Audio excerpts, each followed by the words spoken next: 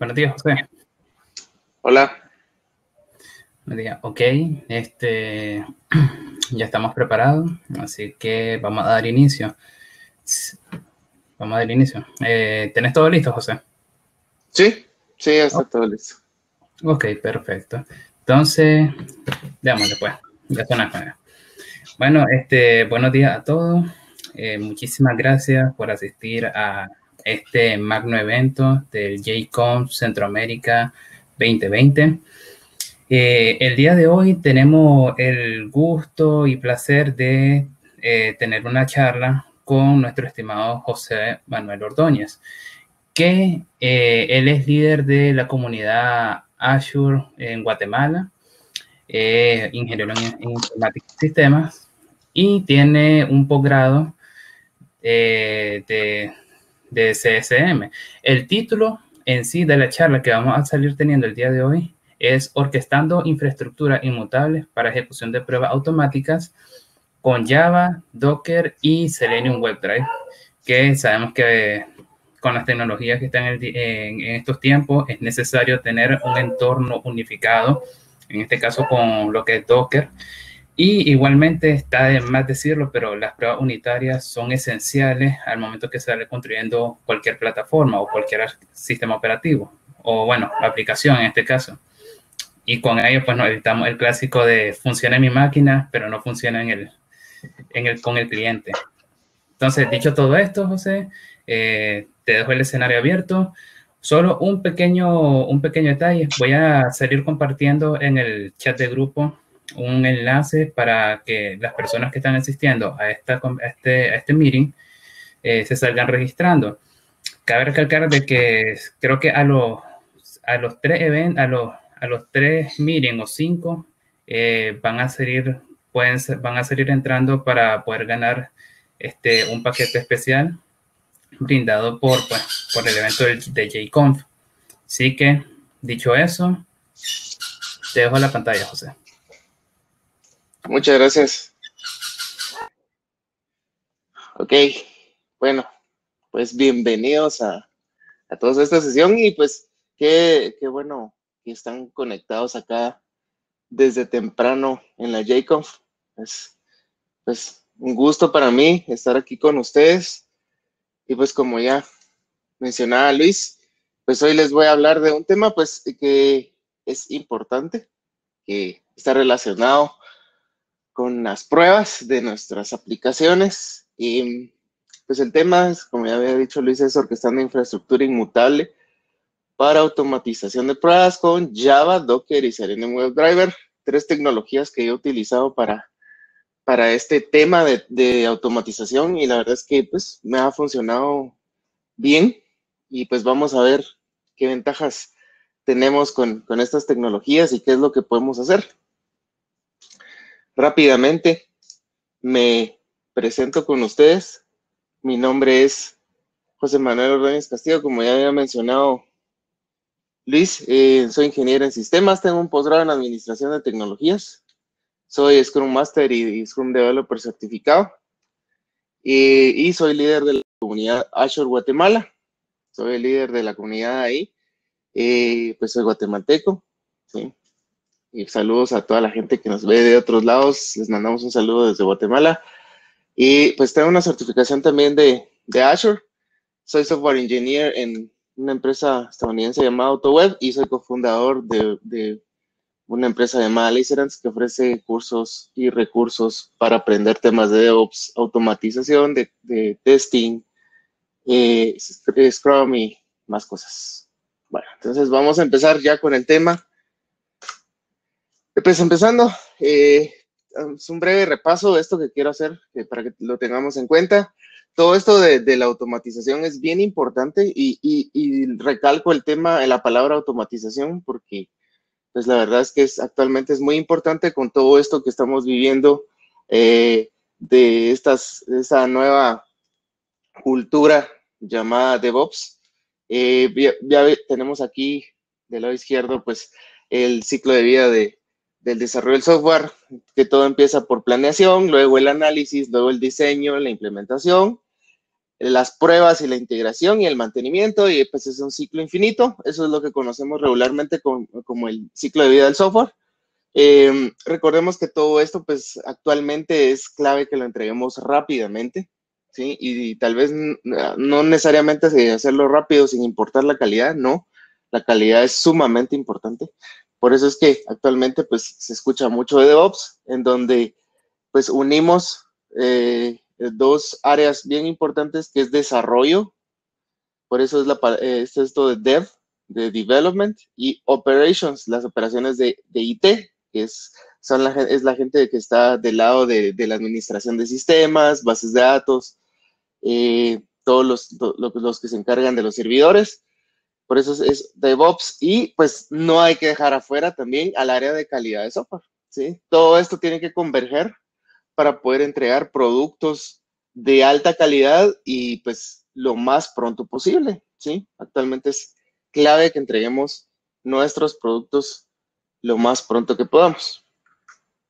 Aquí pues es un repaso también del ciclo de, de DevOps, donde empezamos por, por la planeación, el código, codificar, construir nuestra aplicación, testear nuestra aplicación, release es liberar la, la, versión de nuestra aplicación, deploy es desplegar a los, a los ambientes, específicamente a producción, nuestra aplicación, luego operar el, el, software, o sea que ya los usuarios finales lo estén utilizando, y importante el monitoreo de eso para obtener feedback y otra vez a partir de ahí planificar y otra vez el ciclo empieza. Aquí pues tenemos una gráfica de diferentes herramientas que tenemos disponibles para, para todo esto llamado DevOps.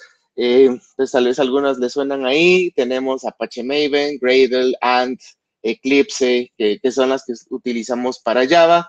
Eh, Unit para pruebas unitarias. Selenium, que es la que les voy a mostrar hoy. Hoy les voy a mostrar algo hecho con Apache Maven y Selenium. Y pues también tenemos ahí Docker, Aquí no está, pero Docker es una herramienta que abarca prácticamente muchas eh, partes de este ciclo. lo podemos tener en testing, en build y en deploy. Entonces, todo eso eh, vamos a verlo hoy. Vamos a, ver qué podemos utilizar y qué podemos sacar, eh, qué solución podríamos implementar con estas herramientas. Rápidamente, el software testing, que esas son las pruebas de, de software o software testing, pues prácticamente es el arte de, estar investigando que nuestro software cumpla con los requisitos, garantizar que la calidad sea la correcta, la calidad de la, aplicación, del software que estamos desarrollando sea el correcto y que esté alineado con los requisitos que nos piden nuestros clientes. Em, estas pruebas se realizan de manera sistemática y pues el objetivo es encontrar defectos en un sistema. Pero, ¿qué, qué pasa? Em, cuando pensamos en testing o en pruebas, pensamos que, pues, solo es, pues a veces pensamos que solo es que alguien esté probando el software ahí a mano. Eh, pues sí, es importante que tengamos manual testing o, pruebas manuales, pero eh, ¿qué pasa con las pruebas de regresión, por ejemplo? Que son muchas pruebas de regresión. Las pruebas unitarias también, o sea, lógicamente las pruebas unitarias no las podemos hacer manuales y llevaría mucho tiempo. Entonces, como dice aquí la imagen, la vida es muy corta para estar eh, haciendo todo el testing manual. ¿Sí? Entonces, es importante que tengamos pues nuestras estrategias para em, realizar la automatización de testing. La automatización de testing, pues, pues es importante. Pero repasando, ¿qué es automatización de pruebas o test automation? Pues este es el, uso de software, prácticamente hacer uso de software para probar software. ¿Sí? Así de simple. Eh, ¿Qué quiere decir? Que nosotros vamos a crear software que nos va a permitir a nosotros probar ese software que nosotros estamos construyendo. O sea, tenemos nuestro software, nuestra aplicación, que es la que se le va a entregar a, a nuestros clientes, a nuestros usuarios finales, pero es importante también tener ahí, pues, automatización y para eso pues tenemos que la automatización se lleva a cabo por medio de software también. Entonces podemos usar herramientas y desarrollar herramientas, desarrollar software para probar nuestras aplicaciones. Sí, tratar de controlar el flujo de ejecución de esas pruebas, eh, tratar de comparar, sí, ese es uno de los objetivos primordiales, comparar los resultados esperados con los resultados que nos está dando en las pruebas para poder detectar errores. Imagínense cuánto tiempo tardaríamos en hacer una regresión de un sistema muy grande. Entonces, aquí es donde la, automatización de pruebas pues juega un rol muy, muy importante. Aquí pues tenemos una, una eh, pirámide de testing, ¿sí? Donde la base de todo nuestro, de nuestra automatización de pruebas y la base de las pruebas son los unit test o pruebas unitarias. Sí, como mencionaba Luis, las pruebas unitarias son muy importantes y es el prácticamente el pilar que sostiene toda esta automatización de pruebas. Se sugiere que, que los unit test abarquen el 100% de nuestro código dentro de una aplicación. Eso es lo sugerido, a veces cuesta mucho y pues por experiencia se los digo que sí cuesta mucho que todo lo que nosotros vamos desarrollando en una aplicación le agreguemos pruebas unitarias, pero es primordial. Eso es lo que, lo que se aconseja que más debería de haber, más pruebas unitarias. Luego tenemos las, las pruebas de componentes y tenemos, si separamos nuestros, nuestro sistema, nuestra aplicación por componentes, vamos a tener eh, pruebas por, por estos componentes eh, recuerden que las pruebas unitarias son pedazos de código, probar pedazos de código y, el objetivo es probar todos los pedazos de código que tenemos. Las componentes ya son componentes específicos de nuestra aplicación y luego la, la integración. Se, han escuchado este término de pruebas de integración, es pues ya eh, hacer pruebas de nuestra aplicación y de algunos otros componentes que rodean eh, pues la arquitectura de esta aplicación. Puede ser una base de datos, eh, conexión a otro sistema, eso, probar todo ese flujo y esas son las pruebas de integración. Y también es algo muy importante que ahora ya hacemos mucho uso de APIs, específicamente las, las, las SOAP, los Web Services SOAP o SOAP APIs o REST APIs que actualmente son muy, muy utilizadas en cualquier sistema. Podemos automatizar también eso, podemos probar eh, manualmente podemos probar una REST API, pero es importante automatizarla también para, para ahorrarnos tiempo. Recordemos que, que, aquí nuestro objetivo es optimizar nuestros recursos, entre ellos el tiempo, ¿sí? Entonces, automatizar eh, las pruebas a REST APIs es súper importante. Y pues aquí arriba tenemos algo también que, que es clave, que es las pruebas automatizadas de la interfaz de usuario de, de, la aplicación, ¿sí? Graphic User, User Interface, eso quiere decir GUI, y, probar que de verdad la aplicación, o sea, lo que está de cara al cliente, lo que va a usar el cliente, eh, si es una aplicación web, pues ver que, que los labels estén eh, con el texto correcto, que un textbox pueda ser utilizable como debe ser, que un botón realice la acción que debe hacer, que le, pues, eh, cuando pasamos a otra a otra página dentro de nuestra aplicación se muestre lo que debería demostrarse. Eso está relacionado con la pues, automatización de interfaz gráfica. Y es justamente lo que les voy a mostrar hoy, ¿sí? Em, hoy específicamente les voy a mostrar cómo pues, podemos automatizar, qué herramientas podemos hacer, utilizar para automatizar estas pruebas de interfaz gráfica, ¿sí? Y pues obviamente automatizadas. ¿Qué vamos a utilizar y qué es lo que yo sugiero cuando, cuando, automatizamos este tipo de pruebas? Pues una de las, de las librerías y herramientas más utilizadas para automatización de pruebas de interfaz gráfica, pues es Selenium. Si no sé si han escuchado acerca de Selenium, que es esta, el logo que tenemos aquí del lado izquierdo, pues es Selenium. Eh, Selenium está disponible para muchos lenguajes, está para pues obviamente Java, que es lo que vamos a ver hoy, está para Python, está para, para C Sharp. Entonces, ah, para, otros lenguajes tenemos disponible Selenium. Yo específicamente lo he utilizado con pues, Java, ¿sí? Java, pues, eh, es, eh, junto con C Sharp, son mis lenguajes favoritos. Eh, los dos, pues, los he utilizado para hacer soluciones, pues, robustas, pero específicamente Java me ha servido mucho mejor para automatización de test y automatización de test de, interfaz gráfica con Selenium. Y pues la verdad es que me gustan mucho las, implementaciones que he logrado hacer con, estas dos tecnologías porque dentro de nuestro ecosistema de Java y todo lo que las, librerías que, que tenemos en Java, tenemos a otra librería que me gusta mucho, un framework que me gusta bastante, que es TestNG. ¿Sí? TestNG, pues es mi librería favorita para automatizar el flujo de tests. ¿sí? Selenium es una librería que me permite a mí manipular el DOM de una página web, ¿sí? manipular los botones, los textos de una página web. Atrás de Selenium WebDriver, que es la, librería, pues hay cosas que se ejecutan con JavaScript, pero nosotros no, no, no tocamos aquí JavaScript, sino todo por medio de Java. Pero para automatizar tenemos TestNG. Aquí esto pues lo vamos a ver. Aquí les dejo pues un repositorio de código que, que, pues pueden echarle un ojo ahí, que es el que voy a utilizar hoy para las para las para la demo que, que tengo acá.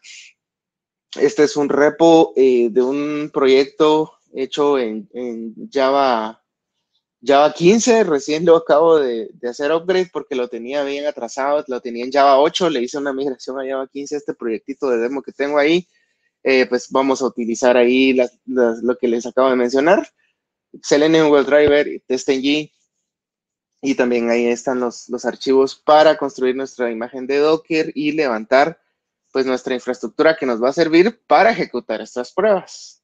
Entonces ya les dejo ahí el, QR para, para el repositorio y el, enlace por si lo quieren ver, si lo quieren descargar también. Pues TestNG, como les decía, es mi favorita para automatización de, test. Y eh, pues TestNG es un es una, es una librería que nos permite a nosotros em, automatizar. Está inspirado en JUnit y, en, Unit, en JUnit me imagino que ya lo han utilizado, pues, pues los creadores de TestNG dicen que es más poderoso y más fácil de usar que JUnit, pues a mí me gusta realmente más que JUnit, TestNG me gusta más, creo que tiene más cosas para automatizar nuestros tests, entonces me gusta bastante, por, eh, pues estas características tienen notaciones, podemos hacer anotaciones ahí para ah, eh, eh, especificar acciones dentro de nuestra automatización, especificar el orden del flujo y un montón de cosas, hacer grupos de tests. Eh, eso es, algo importante cuando estamos eh, realizando pruebas a gran escala, poder hacer grupos de test. Podemos configurar nuestras pruebas y tiene un soporte basado en, en, en datos, ¿sí? Soporte para pruebas basado en datos, que es test driven, test data driven, que nos permite eh, eh, ejecutar datos a partir de datos, ¿sí? O sea, tener data providers y estar inyectando datos para no hacer duplicar cinco veces el test con diferentes datos. Podemos inyectar que al mismo test se le vayan inyectando pues, set de datos para hacer pruebas diferentes. Entonces, a mí me gusta bastante TestNG y lo recomiendo mucho. Y después luego tenemos Selenium Grid, eh, Selenium Grid está relacionado con Selenium WebDriver. Prácticamente Selenium Grid es, nos permite ejecutar máquinas virtuales o máquinas o instancias, no necesariamente máquinas virtuales, que por eso yo les traigo Docker hoy, que es la gran solución acá, que podemos tener instancias de diferentes, entre comillas, máquinas que nos van a permitir a nosotros tener eh, a nuestra disposición diferentes navegadores, diferentes sistemas operativos, ¿sí? Es decir, que vamos a poder ejecutar nuestras pruebas de Graphic User Interface en diferentes exploradores. Ya actualmente tenemos Chrome, Safari, Firefox y no solo esos, esos diferentes pues, exploradores, sino cada explorador se puede ejecutar tanto en Windows como en Linux como en macOS. Entonces, a veces eh, pues hay compañías donde sí necesitamos eh, hacer testing específicamente en diferentes plataformas. Selenium Grid es una eh, solución para tener disponible todas estas versiones de exploradores, todas estas versiones de exploradores en diferentes sistemas operativos. Y prácticamente Selenium Grid es infraestructura que nos permite crear, eh, ejecutar, perdón, tests en diferentes pues, instancias que tienen diferentes sistemas, como ya habíamos dicho, y diferentes eh, exploradores tenemos acá nuestra aplicación de cliente que va a estar hecha, en este caso yo les voy a mostrar hecha en Java, ¿sí? Como les decía, podemos ejecutar eh, Selenium en diferentes lenguajes, en C Sharp, en Python, etcétera. Yo les voy a mostrar hoy en Java cómo podemos automatizarlo. Entonces vamos a tener pues una instancia que va a ejecutar las pruebas. Esas pruebas las podemos ejecutar. Yo les voy a mostrar cómo ejecutar estas pruebas en nuestra máquina primero. O sea, en mi máquina les voy a mostrar cómo las ejecuto en mi máquina y cómo se, se automatiza eso. Pero eso no es escalable, no es escalable estar eh, eh, ejecutando nuestras, nuestras pruebas en una máquina si queremos que, que pues, ejecuten muchas pruebas y si queremos al mismo tiempo diferentes pruebas, pues no es escalable que en una máquina. Tenemos que tener infraestructura que nos permita ejecutar estos tests de forma paralela. Recordemos que tenemos cinco tests y esos cinco tests todos tienen que correr en, en tres exploradores diferentes pues no, eh, sería muy poco factible que todo eso se ejecute. Se puede hacer en una sola máquina, en nuestra, mi, máquina, digamos, pero pues no es factible. Para eso tenemos Selenium, Selenium Grid, que es un, eh, un sistema que se basa en un, en un nodo hub o es en un nodo principal que se llama hub, que recibe las peticiones de nuestra aplicación cliente, que es la que ejecuta los tests, manda aquí la solicitud y le dice, bueno, quiero que se ejecute en Linux con Firefox. El hub busca el nodo específico donde está Linux y donde está Firefox, específicamente alguna versión de Firefox que nosotros le, le, le digamos aquí se va a ejecutar. Entonces, el hub nos va a permitir a nosotros tirar a diferentes instancias nuestras pruebas y también podemos, nos permite también ejecutar pruebas sobre móviles, ¿sí? ya específicamente utilizando una librería llamada Appium, que es un port de Selenium Grid. Entonces, ahí pueden poner sus preguntas si tienen, si tienen dudas sobre esto que hemos estado hablando, pues las pueden poner ahí. Y pues por último, la gran solución acá que, que, tenemos para montar toda esta infraestructura, porque eso que les mostré de Selenium Grid antes de, que los contenedores se volvieran populares, eh, Selenium Grid se montaba, por ejemplo, en una máquina virtual el hub, en otra máquina virtual el nodo de Linux, en otra máquina virtual el nodo de, de, Windows, etcétera. Pero ahora con todo lo de los contenedores, toda esta infraestructura que les acabo de mostrar ya lo podemos implementar con Docker, ¿sí? Em, y se recuerdan que en la charla mencioné infraestructura inmutable, o sea, el nombre de la charla tiene ese nombre, infraestructura inmutable. Docker nos permite crear infraestructura inmutable. Docker, eh, eh, con Docker podemos crear contenedores. Los contenedores ya son instancias donde se van a ejecutar pues nuestras aplicaciones. En este caso vamos a, crear eh, contenedores Docker para ejecutar nuestras pruebas en diferentes exploradores y crear todo este, y Selenium Grid, ¿vieron? Esto, esto que tenemos acá de Selenium Grid, todo esto lo podemos tener con contenedores, o sea, el hub en un contenedor, este nodo de Apple en otro contenedor, el de Linux en otro contenedor, el de Linux y específicamente Linux con Chrome en un contenedor, Linux con Firefox en otro contenedor y así. Entonces, aquí la solución pues vendría a ser Docker para montar esto y es inmutable porque estos contenedores son efímeros. Estos contenedores ahí no guardan nada, sino se ejecutan una vez y se destruyen.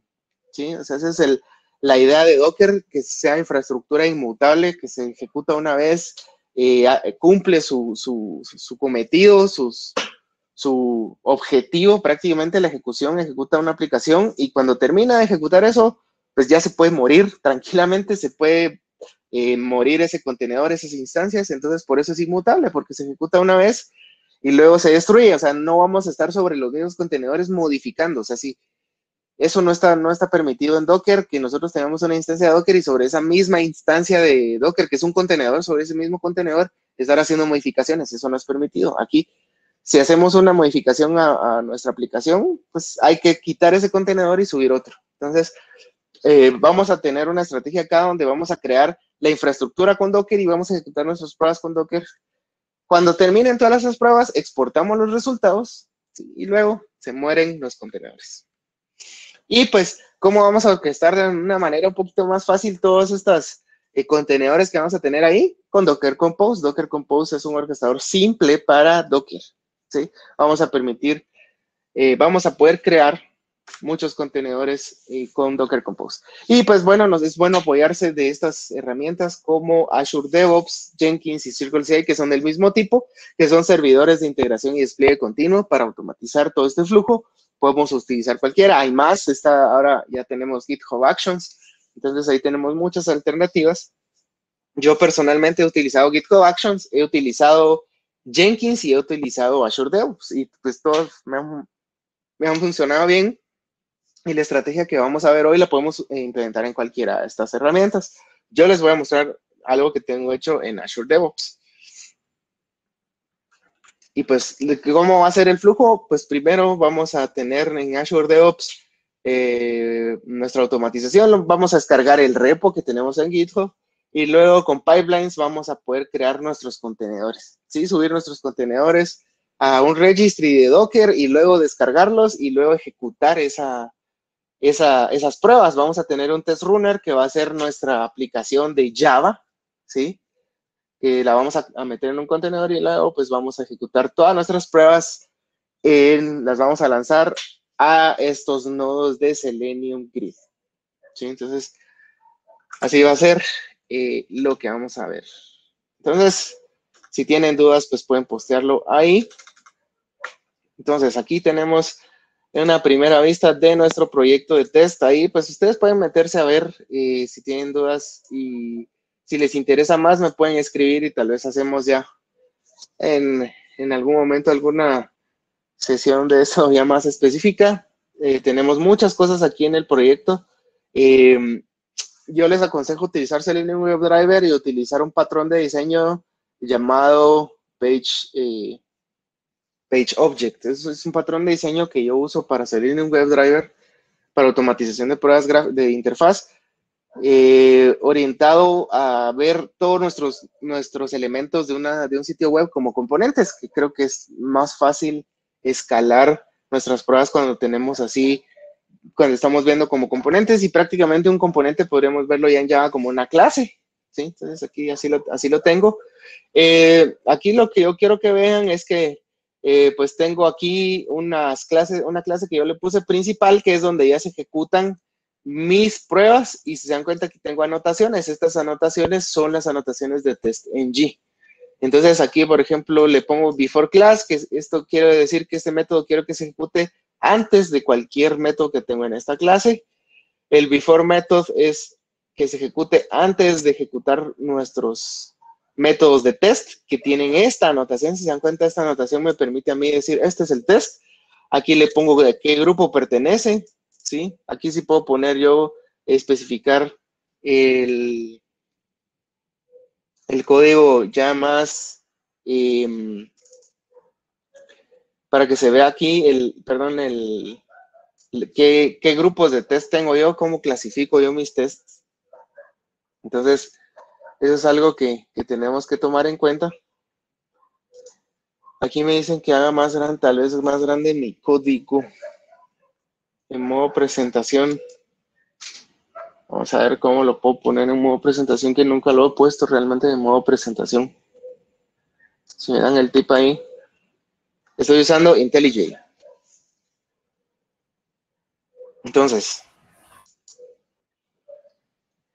vamos a a seguir acá. Pues esto es prácticamente el flujo de, de nuestra de nuestras de nuestro test. Aquí tengo más, más eh, código, ¿sí?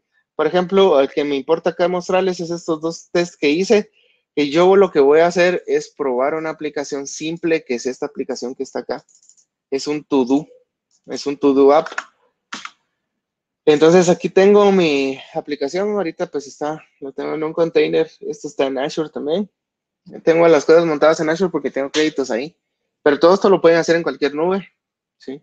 Entonces aquí está cargando mi aplicación, ahorita estaba dormida ahí porque tengo una instancia que se duerme si no, lo, si no se usa, entonces va a tardar un poquito en levantar.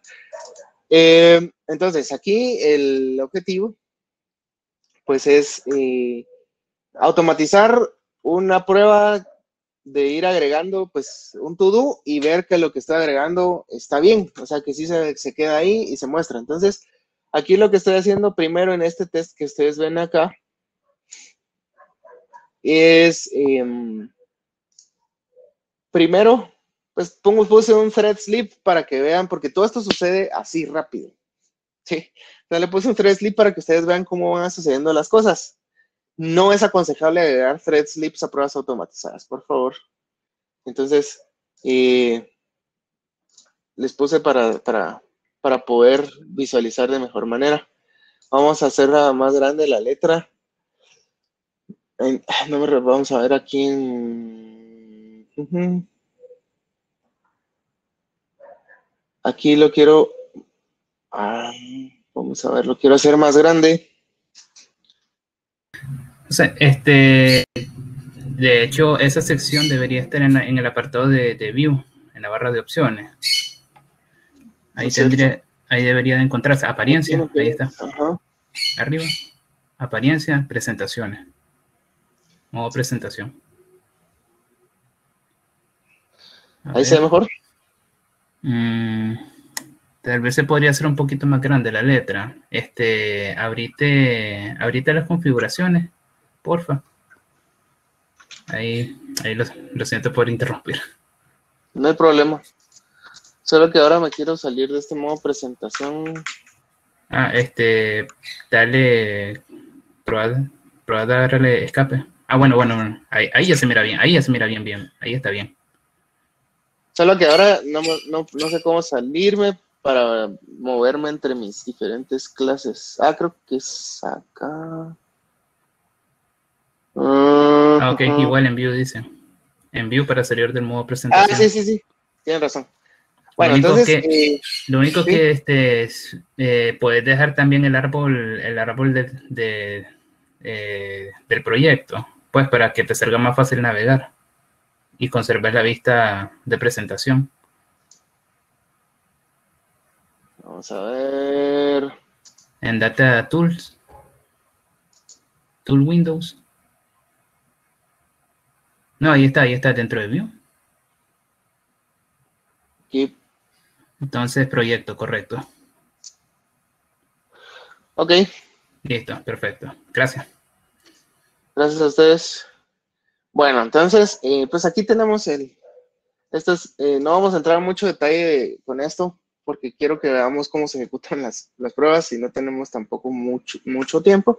Pero aquí, por ejemplo, tenemos el primer test que lo que quiero es que se agregue eh, pues un, un elemento a mi, a mi to-do, que lo hago con este método que está acá, que es un fill new to-do input, así, y recuerden que yo veo cada cosa de la página como un componente, que es una clase, aquí lo tengo, utilizo mi, mi patrón de diseño de Page Object usando algo que se llama Page Factory, ¿sí? Entonces es algo que también les recomiendo que lean.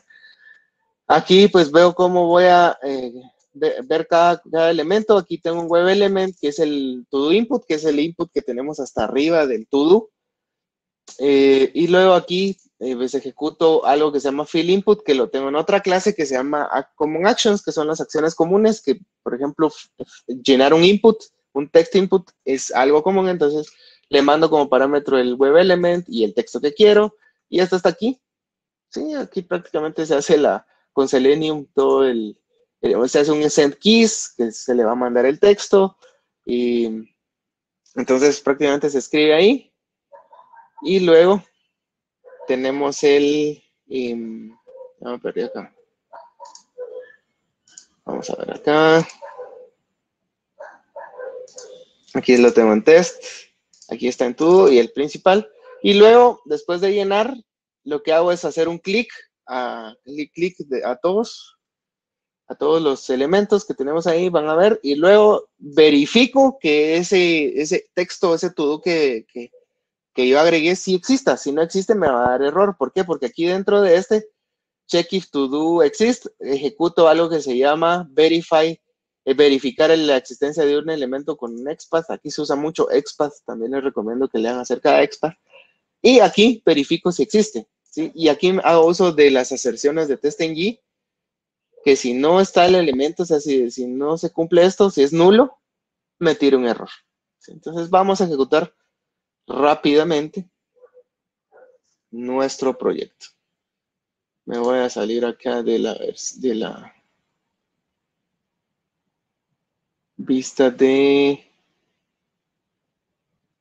de presentación. Para que veamos cómo se ejecuta. Y aquí lo que voy a hacer es ejecutarlo con Maven. Aquí también es otra configuración que yo ya hice con Maven, que no voy a entrar mucho detalle en esto, pero ya con Maven logré configurar y parametrizar, por ejemplo, el grupo de test que quiero ejecutar, eh, el proyecto que se va a ejecutar, eh, aquí en los browsers que se van a ejecutar, y aquí le puse un local Chrome porque quiero que vean cómo localmente se ejecuta esto, ¿sí? Aquí lo que hago es uso de mis drivers locales. Aquí los drivers son usar Gecko Driver, que es para Firefox, y Chrome Driver, que es para Chrome. Yo tengo Mac, entonces apunté al Chrome Driver hacia este path que está acá. Sí, eso lo pueden ver acá en WebDriver Base. Si se dan cuenta, local Chrome lo apunto a mi driver de acá. Luego vamos a ver Remote WebDriver porque lo vamos a ejecutar con Selenium Grid. Bueno, entonces voy a ejecutar esto y vamos a ver qué sucede. Entonces, aquí lo ejecuto y aquí lo que debería de suceder es que me va a abrir una instancia de Chrome. Yo realmente en mis manos acá, están mis manos, no estoy tocando nada. Y ahí abre y se recuerdan que puse que agregar algo de comer ahí, pues pone comer y luego le tiene que dar clic a esto que ven acá, a la parte al circulito, ahí debería darle clic. Ahorita como le puse unos slips ahí, pues está tardando un poco. Y luego en el otro, ahí está, ya le puso eh, pues el clic. Ahí ahorita en este momento en mi consola, si se dan cuenta, verifica que comer exista. Y luego agrega otro que se llama dormir. Este no es. Ahí ya se cerró el que teníamos. Entonces, ¿qué pasó? Ejecutó dos tests. Eh, este test que está acá, que es el de comer, marcar todo, y luego verificar que esté comer, lo ejecutó. Pero se recuerdan que yo aquí en mi grupo de test puse que ejecutara el grupo all, que es este que acá. Mm, yo aquí ya configuré para que se ejecuten los grupos específicos que yo reciba de Maven. Entonces se dan cuenta, este tiene la etiqueta all y este también. Entonces se ejecutó este de comer, agregar esa tarea de comer y agregar dormir. Sí, si se dan cuenta, pues se ejecutó. Vamos a correrlo otra vez para que vean nuevamente. Entonces se va a ejecutar este y este. Pero bueno, antes de eso, veamos lo que sucedió. Aquí nos dice que, aquí están los logs. De hecho, estos System Out Printline están acá. Por ejemplo, add comer, marcol, que es lo que está acá. Eh, luego acá verificar que comer existe. Sí, que es esto que está acá. Y prácticamente no tuve error. ¿Se acuerdan que aquí adentro de estos métodos tengo un assert que me permite verificar adentro de este eh, check if to, do exist. Aquí tengo pues un, un assert que falla si no está, si no encuentra lo que tenía que, encontrar. Aquí tengo el de dormir también, se cumplió porque eh, agregué dormir al to-do list y verifico si ese dormir o eso, existe. Entonces, con cuenta, corrió dos veces y hubieron cero fallos. ¿Sí? ¿Qué pasa si yo a este dormir le pongo otra cosa? Por ejemplo, jugar PS5, PlayStation 5. O sea, le estoy agregando la tarea de dormir, pero luego verifico que exista este jugar PlayStation 5. ¿Qué debería suceder ahí? Debería dar error, ¿verdad? O sea, aquí estoy forzando a que dé error esto. Entonces vamos a, ejecutarlo de nuevo. Le doy aquí play por medio de Maven. Entonces aquí se está ejecutando esto. Aquí vamos a ir viendo los logs. Y ahí, si se dan cuenta, otra vez ejecuta, me va a agregar comer. Ahí tengo unos slips para que vean cómo es esto, cómo sucede, porque cuando no tienes slips, esto sucede en menos de un segundo. O sea, sus pruebas van a, correr súper rápido, o sea, no, no, no van a tardar mucho. Entonces yo les puse el slips para que ustedes vean.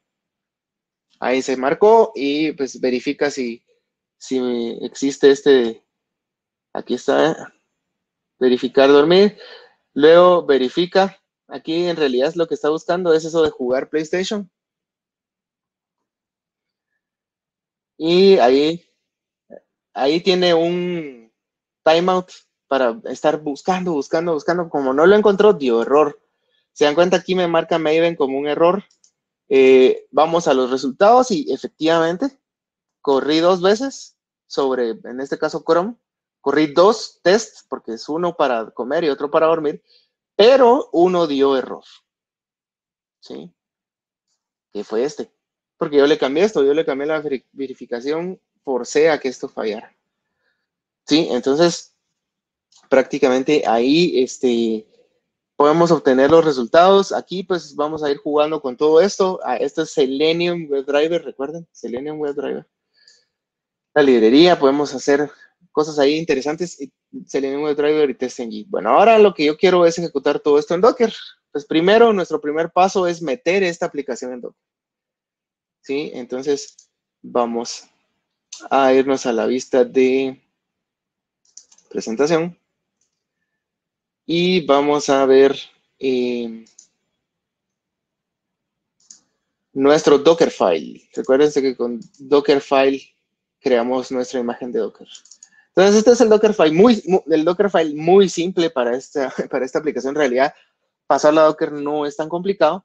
Yo utilizo como base una imagen, eh, la imagen oficial de Maven con OpenJDK 15, que yo ya migré esto a JDK 15 pues la, migro, perdón, la, la, bueno, ya la migré a JDK 15, JDK 15 la tenía en, Java 8 todavía, pero la migré a 15.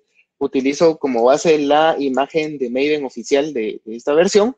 Luego lo que hago es copiar el, contenido de este folder, pero eso, eso, significa el punto, hacia una carpeta dentro, dentro del contenedor que se llama Artest Suite 2020.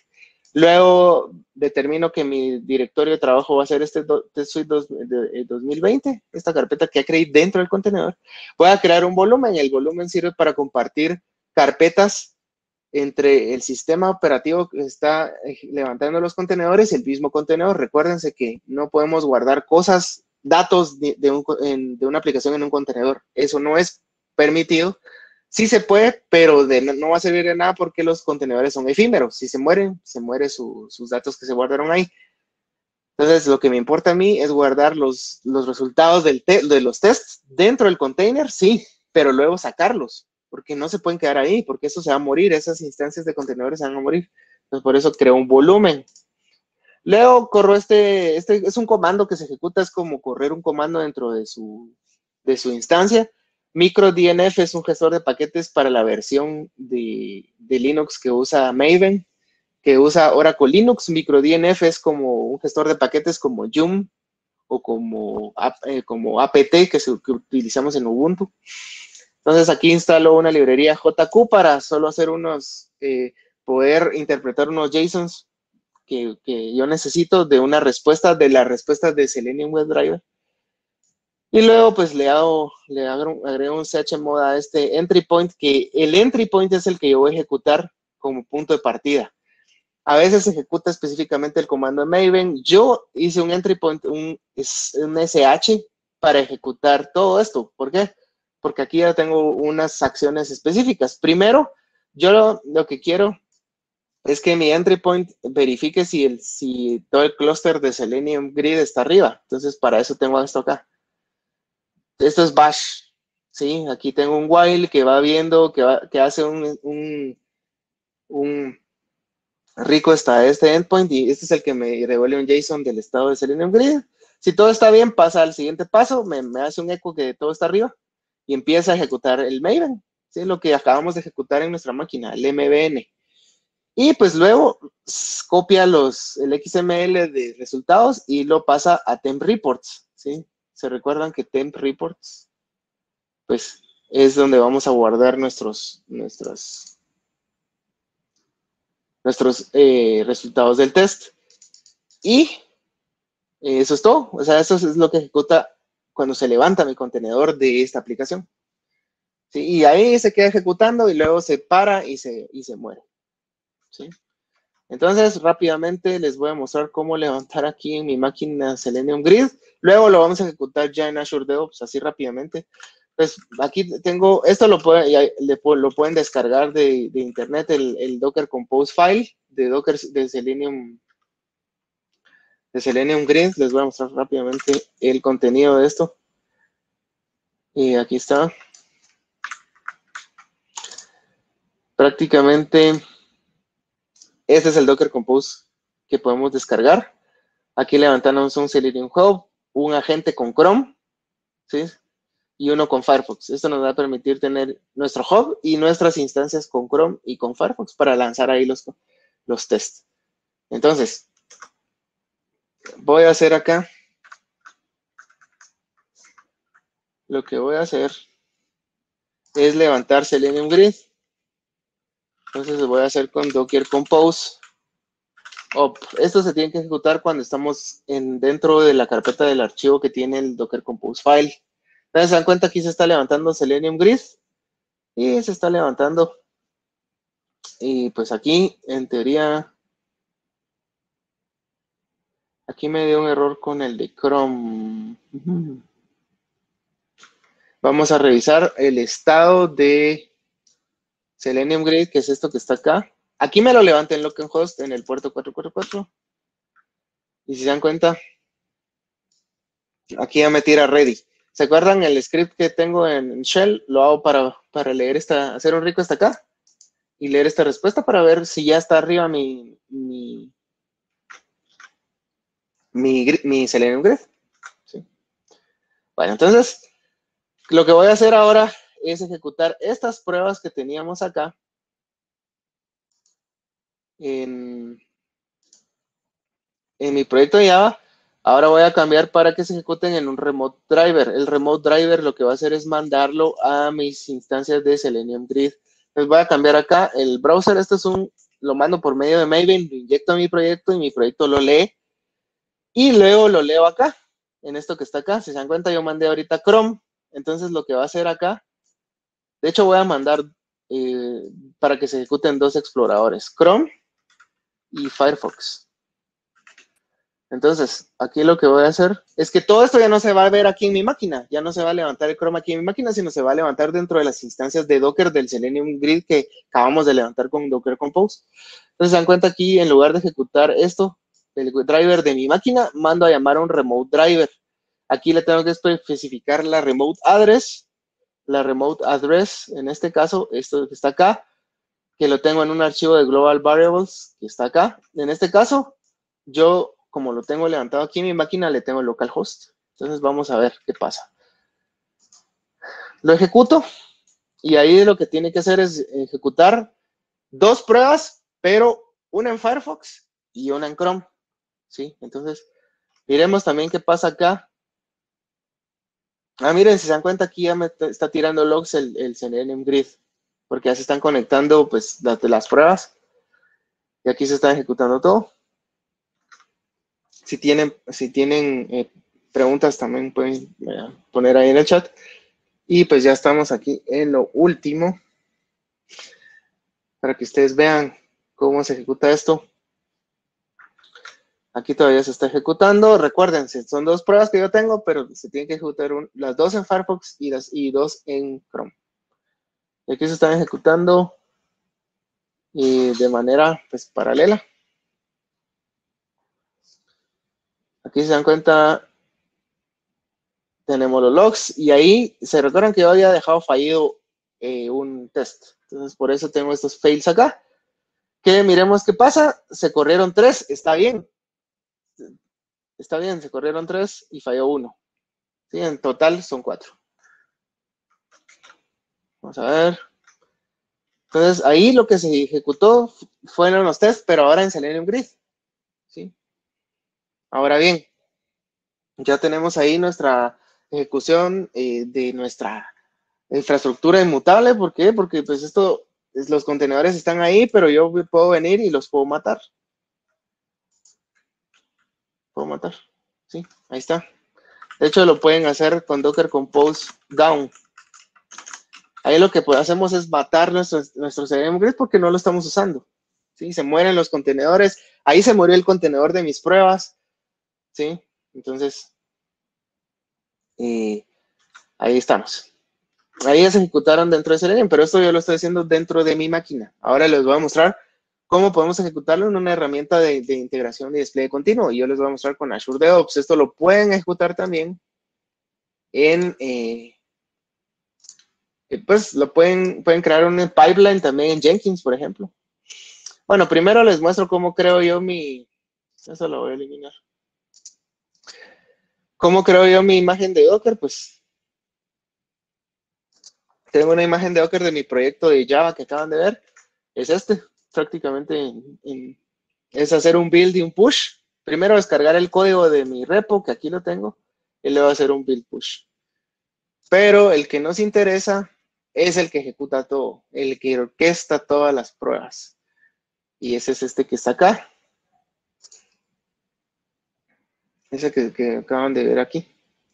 Este que está acá. Esto lo voy a mover acá. Entonces, ¿qué hacemos primero? Crear el Selenium Grid. Primero, pues, primero de todo es descargar el repo. Ese repo que ya les puse ahí hace rato, lo descargo a Azure DevOps. Estos son los pipelines de Azure DevOps.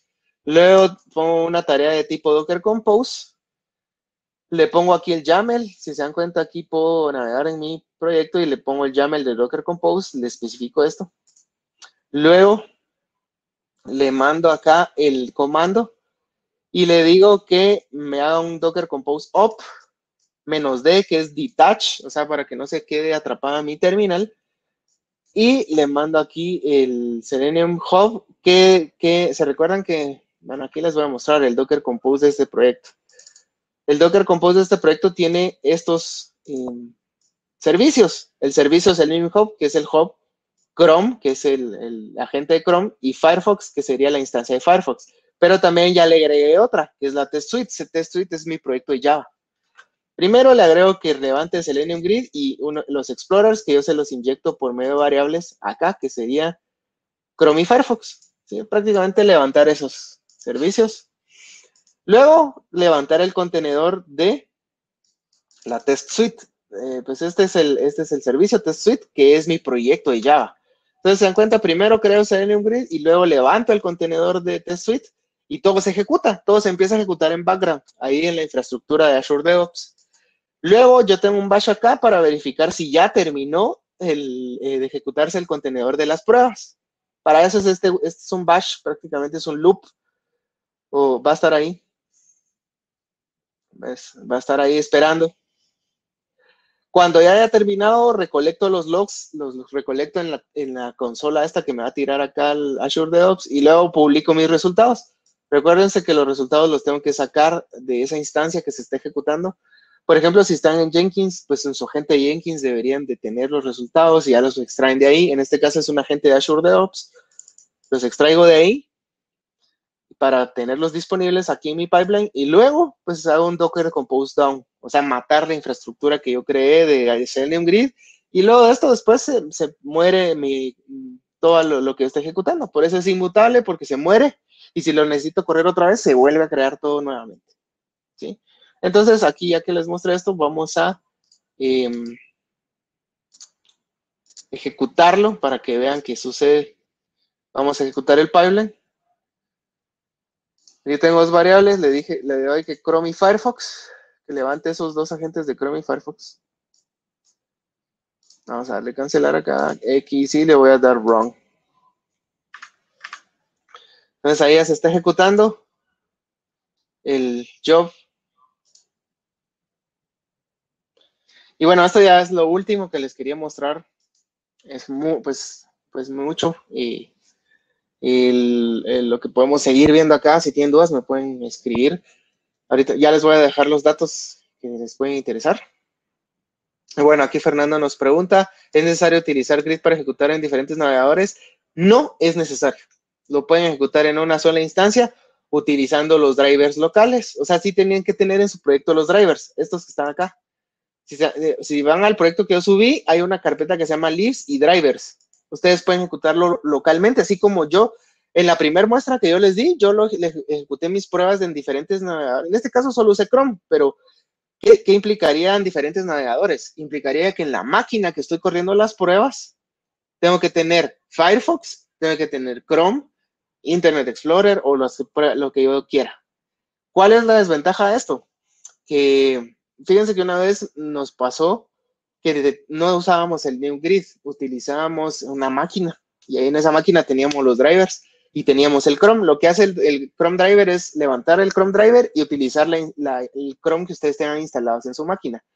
Eh, eh, nos pasó una vez que teníamos una máquina, pero se levantó Chrome y Chrome, no sé si ya se dieron cuenta que ahora Chrome se actualiza automáticamente. Entonces nos actualizó Chrome y todas nuestras pruebas empezaron a fallar y resulta que empezaron a fallar todas nuestras pruebas porque eh, justo un, algo que utilizábamos de Selenium WebDriver eh, ya no era compatible con la última versión de Chrome que había sacado Google. Entonces, ese es un problema. Con Selenium, con Selenium Web, eh, perdón, con Selenium Grid nos, nos, aseguramos la versión específica que estamos corriendo de Chrome. ¿Sí? O sea, ustedes pueden asegurar la versión específica, si se dan cuenta. Aquí por medio de la imagen, este tag, ustedes ven la versión específica de Chrome que están corriendo. En nuestro caso, nosotros como lo teníamos en una máquina sin Docker ni especificar nada, nosotros teníamos el Chrome ahí instalado y el Chrome Driver. El Chrome se, actualizó y, y, el Chrome Driver no. O sea, se quedó desfasado y nuestro código ya no era compatible con la nueva versión de Chrome. Entonces todo empezó a fallar ahí. Es un problema. Yo sí aconsejo que pues empecemos a utilizar contenedores para aislar ese tipo de problemas, ¿sí? Entonces, eh, se puede utilizar Selenium Grid local sin, sin, perdón, se puede usar test de diferentes exploradores sin Selenium Grid. Bueno, entonces vamos a regresar aquí a nuestro explorador y si se dan cuenta aquí ya se ejecutó todo. Primero, el primer paso fue descargar el código de nuestro proyecto. El segundo paso fue crear Selenium Grid. Si se dan cuenta aquí se está creando Selenium Grid. Y esto se está creando en la infraestructura de Azure DevOps porque Azure DevOps nos da infraestructura eh, gratuita, nos da 800 meses, 800 minutos al mes, que puede ser suficiente para hacer pruebas. Y esto es gratis, esto que les estoy mostrando es gratis. Aquí ya levanto mi contenedor de, recuérdense, de crear los tests. Y se queda en background prácticamente. Y luego aquí ejecuto mi eh, bash para ver si ya terminó de ejecutarse mis pruebas. Cuando ya se hayan terminado, recolecto los logs. Y estos son los logs. Si se dan cuenta, aquí es cuando se levantó Selenium Hub, el hub, ¿verdad? El, que controla todo. Luego el Chrome y luego Firefox, la instancia para Chrome y luego la de Firefox. Y aquí se dan cuenta que están todos los logs de mi aplicación de Java. Y lo que está descargando con Maven, todo, se recuerdan que como usamos Maven empieza a descargar todas las dependencias. Y hasta aquí abajo vamos a ver ya los logs de los, de los tests. Si se dan cuenta, en el, código, en el código que tengo arriba todos los tests funcionan. En el código que tengo en Git todos los tests funcionan, pero son dos tests. Y si se dan cuenta aquí, me dice que tiró cuatro tests. Cuatro tests. ¿Por qué? Porque corrí en Firefox y en Chrome. Dos en Firefox y dos en Chrome. Los mismos dos en Firefox y los mismos dos en Chrome. ¿Sí? Y luego publico los resultados, los saco del contenedor, los saco de la instancia de, de la gente de Azure y los meto aquí a mi pipeline. Luego mato el Selenium Grid porque no lo voy a necesitar, mato esa infraestructura. Y pues luego ya todo terminó y todo terminó bien. Si en caso hay un error, aquí ya yo puse que me mostraron error. Pero lo que nos interesa es ver también los reportes. Y se dan cuenta aquí en la última corrida de este, de este pipeline, aquí tengo algo que se llama tests. Entonces, eso es, esto me lo crea por medio del XML. Se recuerdan que yo extraje de, con los volúmenes de Docker, extraje XML y lo importo aquí a mi pipeline. Ese es un estándar, es un estándar de TestNG y de JUnit, el mismo que usa JUnit, TestNG y otros frameworks de test, es un XML que tiene su formato y pues, ustedes pueden usar esto en Azure DevOps, estoy seguro que lo pueden utilizar en Jenkins, en CircleCI si usan el mismo estándar. Y bueno, entonces esto era lo que les quería compartir el día de hoy. Ya se nos está acabando el tiempo y pues eh, aquí ustedes pueden eh, hacer más cosas les voy a, pues, a dar acá mis, mis datos para que si tienen dudas me pueden me pueden contactar o me pueden preguntar cosas. Ya para terminar, aquí les, les voy a compartir las slides de mi presentación. Se las voy a poner ahí en el chat. Y si tienen dudas, pueden seguir preguntando ahí. Yo tengo tiempo acá todavía. O sea, no, ya terminó el tiempo de la, de la presentación, pero yo tengo tiempo acá para si tienen dudas, si tienen alguna pregunta, aquí les puse eh, enlace para TestNG, para que aprendan TestNG, para que aprendan más de Docker. Es importante actualmente saber contenedores, créanme. Docker Compose, lo que yo, lo que utilicé para orquestar. Ese es el principio, Docker Compose. Luego, si ya nos queremos poner más exquisitos más eh, así súper super expertos en Docker, podemos usar Docker Swarm. O si queremos algo como Kubernetes, también se puede hacer. Pero para esto que hoy dicen, creo que Kubernetes no, no, no es tan necesario, pero sí se puede hacer. Si ya lo tenemos en containers, ¿por qué no lo podemos implementar en Kubernetes? Luego, eh, pues aquí les puse un enlace de Docker, eh, Selenium Grid como tal, solo Selenium Grid, y luego Selenium Grid con Docker Compose. Les puse un blog que tengo en mi página, en mi sitio de, de Laserance, que les dije que soy cofundador de esta empresa. Ahí tenemos un, un blog de buenas prácticas para escribir Docker files. Eh, se los recomiendo, está muy bueno. Tenemos también un curso de Docker desde cero. Si no saben nada de Docker, tenemos ahí algo de Docker desde cero. Si les interesa, eh, me pueden escribir y yo les doy un cupón de descuento. Actualmente los cursos están en oferta en 10 dólares. Si me escriben, les puedo dar un cupón de 5 dólares y es el curso les quedan 5 dólares. Escríbanme, ahorita les voy a dejar mi correo ahí. Si me escriben, yo les doy el cupón para el de Docker desde cero. También tengo un eh, curso ahí de Azure DevOps, cómo eh, crear, hacer integración y despliegue continuo con Azure DevOps y Docker. También, eso lo tengo ahí, está en oferta. Si les interesa más de esto, pues me escriben. Si les interesa el cupón, me escriben, quiero el cupón y ya les mando ahí. Y también los invito a unirse a, mi comunidad Azure Guatemala. Pues es comunidad de todos, yo soy el líder ahí. Ahí están los enlaces por si les interesa. Hablamos de diferentes temas relacionados a Azure, eh, desarrollo y todo esto de la nube, que actualmente pues está muy eh, demandado. Y pues este es mi contacto. Eh, eso es el, el, contacto. Ahí está pues mi nombre completo por si no se les había quedado mi nombre completo. ahí está también mi correo, mi Twitter. En Twitter pongo cosas ahí que me, que me gustan. Uso mucho Twitter para compartir información acerca de, las tecnologías que me gustan. Eh, por ejemplo, las tecnologías que más me gustan son Java, C Sharp, eh, Azure, ¿sí? Cloud Computing, DevOps, todo lo de DevOps me encanta. Entonces, eh, ahí les dejo la, el Twitter y mi LinkedIn. Me pueden agregar, díganme, ah, te vi en, en AJConf. me escriben y ya los, los agrego. Eh, pues ahí, si quieren más cursos de DevOps, Docker y Testing, ahí está mi sitio. Les voy a, les voy a compartir el vínculo de la de mi charla para que, pues, en las slides prácticamente, para que pues le den un ojo ahí a todo lo que les acabo de compartir. Es mucha información, yo sé, pero por algo se empieza. Ahí les dejo la inquietud para que sigan pues aprendiendo. Eh, hay muchas cosas que pueden hacer. Esto pues puede potenciar sus soluciones y pues cualquier cosa me escriben y ahí vamos a estar.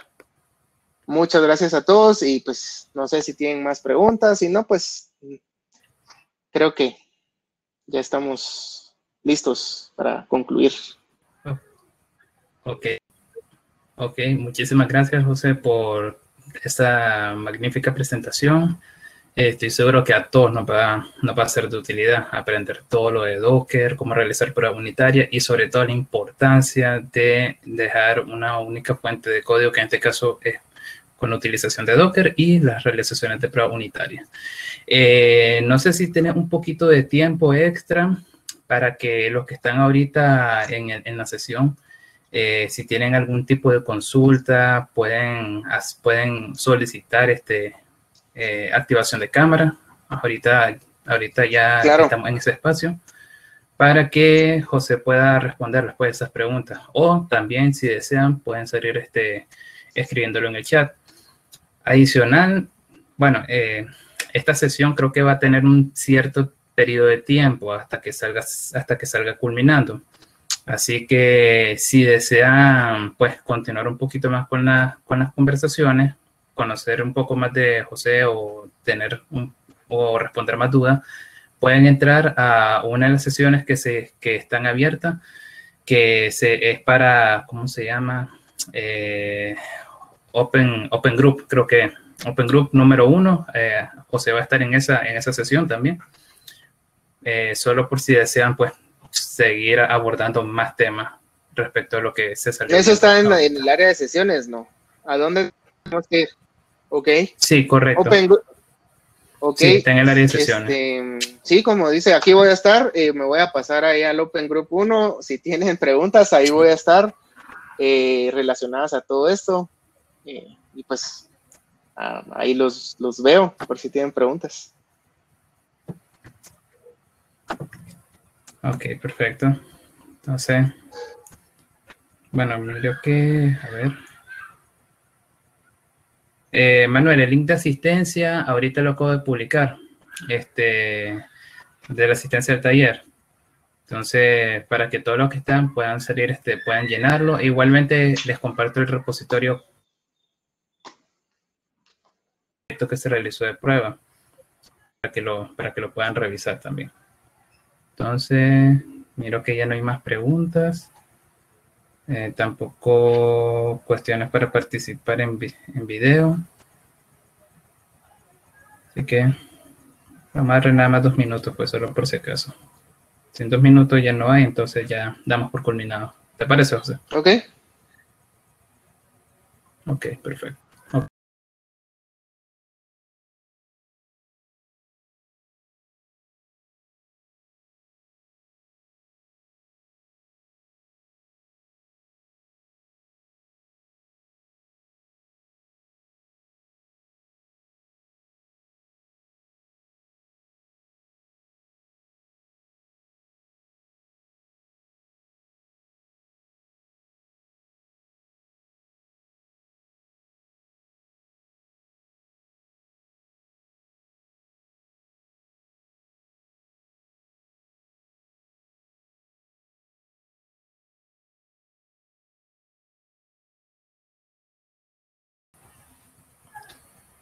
Este, José, a ver, voy a salir cerrando ya la sesión. Entonces, para que, para que te, para que vayas si quieres, eh, moviéndote. Claro. Que dice en enlace para registrar resistencia, siempre vuelvo que soy un. Mm, no sé, Manuel, podría ser tal vez por algún, algún, algún inconveniente con el navegador. Si no, si no te, si no te está alejando, trata de, no sé, tal vez incógnito, si está utilizando alguna VPN, tal vez sea por ese motivo. Entonces.